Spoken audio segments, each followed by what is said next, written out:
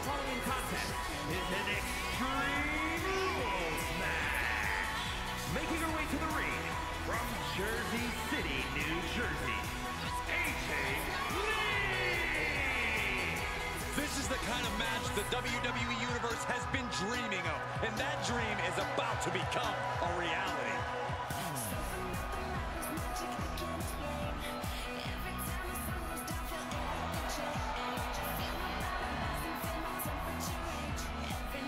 Has got to be ready for the unrelenting power of Bianca Belair.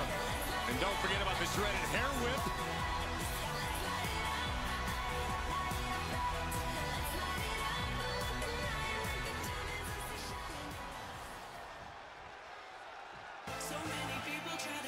Uh, here comes a can't-miss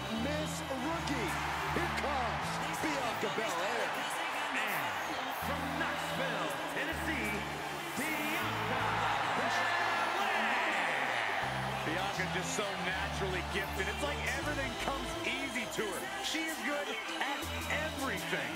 Without question, one of the best, most purest natural athletes we have ever seen in WWE.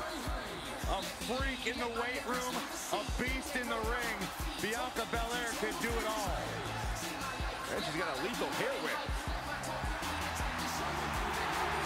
She has been counting the weeks, the days, the minutes until this match, and she is now ready to compete.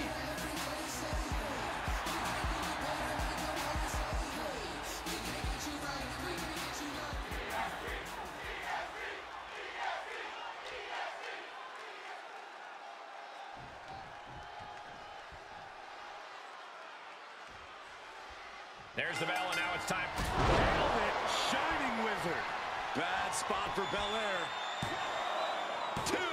She kicks out. I don't believe it. This is the kind of fortitude that stars are made of. Bianca is proving she can take on anyone's best shot. Was not able to seal the deal with her best move.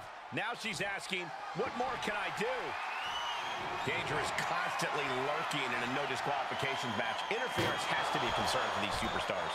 While it certainly can be a factor, I don't think it should be a concern. The only thing you should be concerned about is getting the win. Vicious knee drop.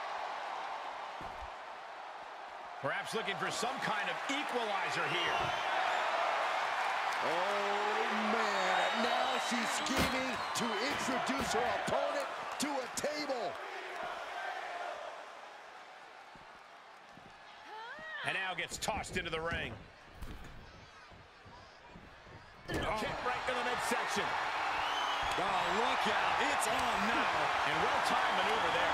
Looks like a hockey fight's just broken out. It looks like we've got ourselves a brawl here. Exhaustion setting in, and neither one of them is letting up. Boom! WWE Universe appreciating these athletes going all around. She manages to get control. Reversals, reversals, and more reversals. This is a war of attrition with neither superstar wanting to be the one who surrenders. Oh, leg lariat. And now she's looking to go top rope. Incoming all the way. What impact. And Bianca is failing to offer any resistance here. Bianca needs An